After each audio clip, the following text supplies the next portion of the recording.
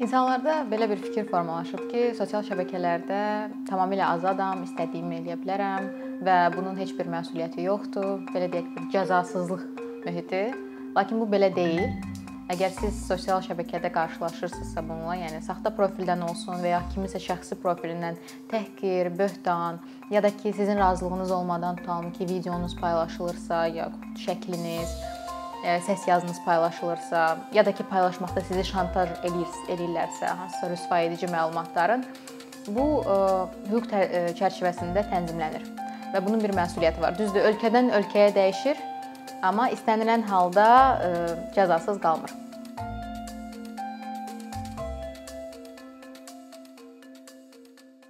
Bizim qanunvericilikdə bu bir vahid qanunvericilik aktında tənzimlənmir. Yəni ki, rəqəmsal dünya dediyimizdə nə nəzərdə tutulur? Sosial şəbəkələrdə bizim insan hüquqlarımız, hansı hüquqlarımız var? Şəxsi toxunulmazlıq hüququmuz və yaxud şərəf və ləyaqətimizin qorunması. Bunlar hamısı ayrı-ayrı qanunvericilik aktlarında var. Amma məsələn, xarici ölkələrdə araşdırdığım xarici ölkələrdən birini deyəcəm. Fransada Digital Republic Law sənədi var və burada rəqəmsal dünyada bizim bütün hüquqlarımızı bir sənədə toplayan bir sənəddir. Dediyim kimi, yəni bizdə belə bir sənəd yoxdur. Əgər siz tutalım ki, hansısa bir tədbirdə təhqir olunursunuzsa və sosial şəbəkədə təhqir olunursunuzsa, bunun tövsifi eyni maddə ilə olacaq. Məsələn, həmin o Fransanın Digital Republic Law, yəni ki, rəqəm respublika rəqəmsal qanun əgər bizim dilimizdə tərcümə etsək, həmin qanunla şəxsi toxunulmazlıq hüququ şəxslərin qorunur, qorunur onlayn platformalarda belə bir norma var. Hmm, revenge porn Yəni ki, e, intiqam pornosu, e, amma əslində əhatəsi daha genişdir.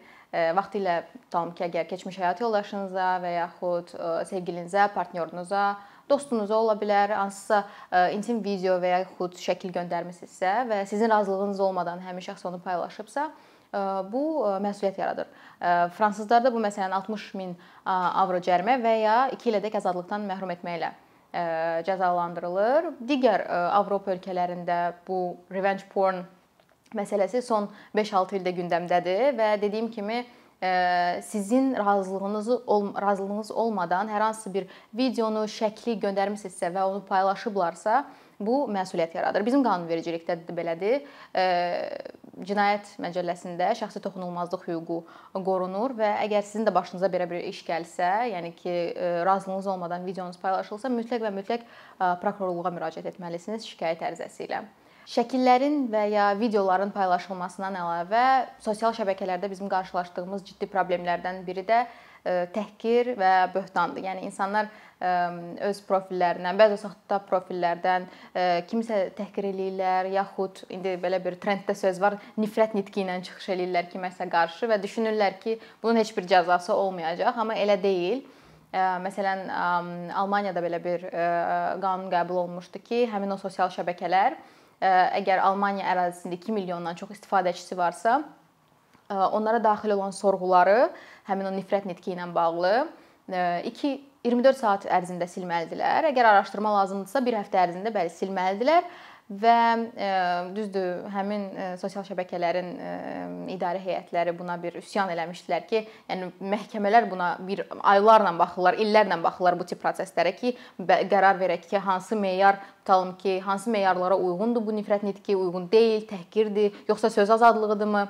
Və e, yəni söz azadlığını məhdudlaşdıra bilər onu, onu onların silməyi və 24 saat və 1 həftənin çox az müddət olduğunu qeyd eləmişlər, amma yəni ki, e, qanunvericiliyə dəyişiklik olmadı və günü bu günədək də e, orada belə bir e, qanunvericilik aktı var bunu tənzimləyən. Məsələn, siz Almaniyada yaşayırsınızsa və sizinlə bağlı hər hansı bir nifrət nitqi paylaşılıbsa sosial şəbəkələrdə siz müraciət edirsiniz Facebooka, Instagrama və ya digər sosial şəbəkəyə ki, bunu silsinlər və onlar 24 saat ərzində və yaxud bir həftə ərzində bunu silmirlərsə, Alman məhkəmələrinə müraciət edə bilərsiniz. Həmin şirkətləri buna görə böyük məbləğdə cərimə gözləyir.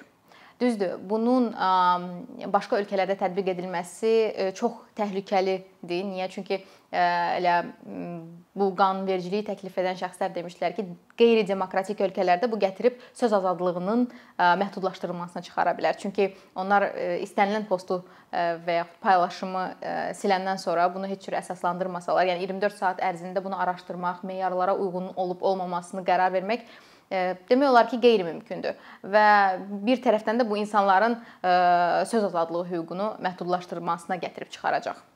Bəs Azərbaycanda bu hansı formada tənzimlənir?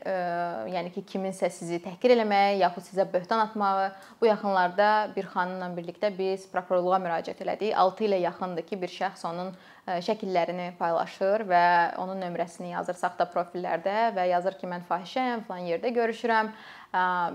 Bu Cinayət Məcəlləsinin 148-1-ci maddəsinə tənzimlənir. Saxta profillərdən təhqir və ya böhtan İndi hal-hazırda araşdırma gedir. Deyə bilmərəm nə nəticə verəcək, amma ən azından o insanlar başa düşməlidirlər ki, bunun bir məsuliyyəti var. Həmin insanların IP adresindən tapılması, yəni 21-ci əsrdə çətin deyil. Bundan da əlavə, yəni qanunvericilik birbaşa bu məsələni tənzimləyir. Buna oxşar bir situasiya mənim başqa bir rəfiqəmin də başına gəlmişdi. O canlı yayımda Instagramda başqa bir şəxsi təhqir etmişdi və həmin şəxs də şikayət ərizəsi ilə müraciət etmişdi məhkəməyə və məhkəmə təmin etmişdi həmin deməli iddia ərizəsini və rəfiqəm cərimələnmişdi. Yəni ki, çox insanlar fikirləşirlər ki, mən yazacağam, heç bir nəticəsi olmayacaq, amma əgər tədbir görəcəksinizsə, yəni ki, zərər çəkmişdən gedir söhbət. Sizin başınıza gəlibsə bu və siz bununla bağlı tədbir görürsünüzsə, mütləq və mütləq məhkəmə olsun ya hüquq mühafizə orqanları olsun, bununla bağlı tədbir görürlər. Çünki yenə də dediyim kimi qanunvericilik bu məsələləri tənzimləyir. Ümumiyyətlə müasir dünyada onlayn platformalarda olan hüquqlarımız, yəni rəqəmsal dünyada olan hüquqlarımız bizdən hərəkət tələb edir. Yəni ki, gözləməyək ki, hansısa fakt var deyə hüquq mühafizə orqanları tədbir görəcəklər. Biz özümüz gedib müraciət eləməliyik ya prokurorluğa, ya polisə, ya məhkəməyə və izahatımızı verməliyik, sübutlarımızı təqdim etməliyik. Yəni digər cinayətlərdən fərqi də elə odur ki, bu tip cinayətlərdə ya xüsusi ittiham qaydasında, ya da ki, ictimai xüsusi ittiham qaydasında başlayır cinayət təqibi. Hüquqlarımızın qorunması üçün tədbir görməliyik deyəndə yalnız videolarımızın, şəkillərimizin paylaşılmasının qarşısını almaq üçün yox, və yaxud artıq paylaşılıbsa onunla bağlı tədbir görmək yox, həm də fərdi məlumatlarımız, məlumatlarımızın qorunması nəzərdə tutulur. Fərdi məlumatlar ümumiyyətlə nədir? Bizim şəxsiyyətimizi müəyyən etməyə imkan yaradan məlumatlardır və onların qorunma mexanizmi ölkədən ölkəyə dəyişir. Mənim yadımdadır bir dəfə biz işdə oturmuşduq və başqa bir şöbədən əməkdaş yaxınlaşdı. Dedi mən falan bankı bəs məhkəməyə vermək istəyirəm. Biz soruşduq ki, nə olub? O da dedi ki, bəs bir tətbiq, mobil tətbiq istifadə edirəm və orada pop-up çıxdı ki, Naxçıvanda yaşayanlara endirim var ya xüsusi güzəştlər var və o deyir ki, bəs niyə bu bank mənim fərdi məlumatımı istifadə edib? Mənim şəxsiyyət vəsiqəmin üstündə yazılıb ki, mən Naxçıvanda anadan olmuşam və o mənə məqsədli reklam göndərir. E, başqa bir əməkdaşımız soruşdu ki, hüquqşünas, bəs e, sən e, onların xidmətindən son dəfə nə vaxt istifadə etmisən? Deyib bəlkə də 2010, 2011 deyir, müqaviləni diqqətlə oxumusan.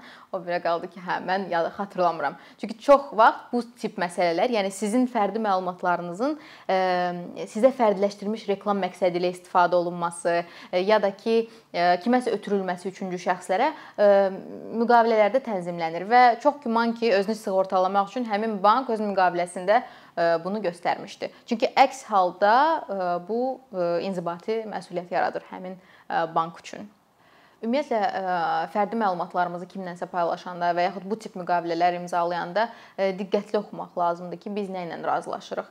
Elementar məsələn Instagram və ya Facebookun da terms and conditions ilə biz razılaşanda, yəni onların qaydaları ilə profil açanda özümüz üçün çox adam bilmir ki, biz bütün məlumatlarımızı onlara istifadəyə, emala hüquq veririk. Ondan əlavə üçüncü şəxslərə ötürmələri üçün də hüquq veririk və belə deyək, həmin o terms and conditions bizim Instagramla aramızda olan bir müqavilədir. Və sual yarana bilər ki, bəs necə eləyək ki, biz özümüzü qoruyaq, biz istəmirik məlumatlarımız onlara ötürülsün, sadəcə istifadə etməmək. Çünki bu onların ərazisidir və orada da qaydaları onlar müəyyən edirlər və əgər siz orada profil açmaq istəyirsinizsə, bu qaydalardan razılaşmalısınız. Təbii ki, elə ölkələr var ki, məsələn, Avropa Birliyində GDPR qəbul olunub, yəni ki, həmin o fərdi məlumatlarla bağlı sənəd və həmin sənəd o şəbəkələrin orada işini məhdudlaşdırılır. Nə formada məhdudlaşdırır? Yəni ki, insanların fərdi məlumatlarının emalında onlara çox hüquq vermir.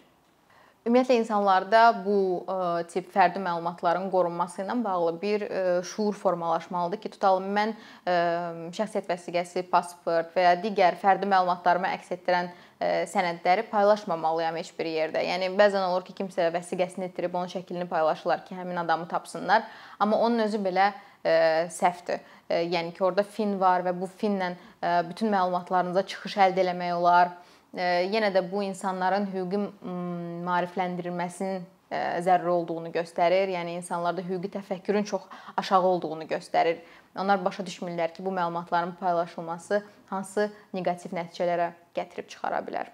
Məsələn, elə bir neçə il bundan əvvəl Azalın bir əməkdaşı bir kişinin şəxsiyyət pasportunu paylaşmışdı və həmin pasportda şəkil yerində xarici görünüşün qadına oxşayan biri idi, amma cinsiyyəti kişi idi. Yəqin ki, çox güman transgender idi, belə düşünürəm, amma olmaya da bilər və onunla lağ edirdi bu şəkli paylaşmaqla və mən Azala yazdım, müraciət elədim. Mənə elə gəlir ki, tək mən deyildim müraciət edən, çünki dərhal cavab aldım Azaldan ki, həmin əməkdaşı biz işdən azad etmişik və çox üzr istəyirik cəmiyyətimizdən. Bununla bağlı həmin adam, yəni vəsiqəsinin şəkli paylaşılan, bilmirəm məhkəməyə müraciət etdi yoxsa yox, amma yəni mən onun yerində olsaydım bunu mütləq edərdim və həmin adam sadəcə işdən çıxarılmaqla cəzalandırılmamalıdır.